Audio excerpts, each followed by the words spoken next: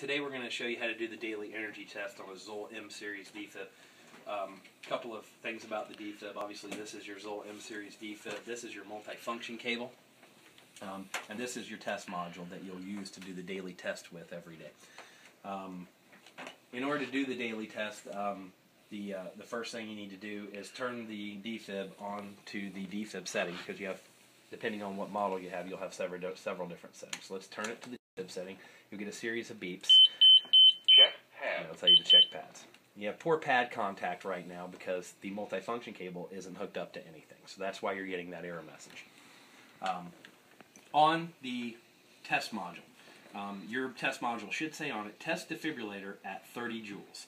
So that's the joule setting that we're going to test the defib on every morning in the facility.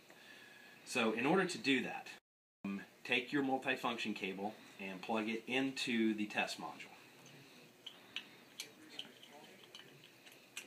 Okay. All right. So now it's in place, and you're going to get an error message that says defib pad short. And that's because in order to test, this test module has to short out the cable. Okay, so um, keeping in mind that it says that you have to test the defibrillator at 30 joules, when you turn the defibrillator on, it automatically is set by default at 120 joules. So we have to put that down to 30 joules. Okay, so now you're ready to do your daily test. Now I've opened the printer door just so I don't waste a bunch of paper here. Um, you probably won't because you'll want that for your records. Now, um, at the uh, top top of the, the of the uh, control panel here, you'll see the charge button. You want to press the charge button, and the defib will let you know when it gets to the proper joules. All right, so now you're ready to do your test. So go ahead and press shock, and you see up here it says test OK. It said test OK, and that's what you want to see. You want to see that test OK. Let's do it again, um, one more time. Okay, so we're gonna cycle it up, 30 joules. Press shock test OK.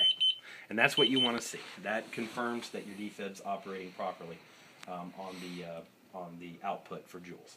So um, the defib pad short Check pad. is only when you have it plugged into the test module.